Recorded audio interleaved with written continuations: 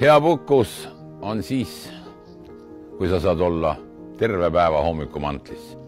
Toilas Paa annab tööd kahesaja viiele inimesele. ja need kakssada viis inimest peavad sada tuhat inimest aastas ära teenindama. Toilast Paa peabki olema ainulaadne, sest siin on kõik tehtud selleks, et pere saaks tulla ja iga pereliige saaks endale oma nurgakese leida.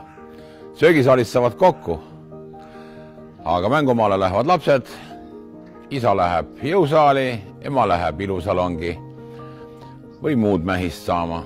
et meil on olemas miinus sada nelikümmend kamber ja vaatega merele Soome saun on pluss üheksakümmend ja mina nimetan seda paradiisiks. ja minu arust ongi ta paradiis, kui inimene saab ennast tunda vabalt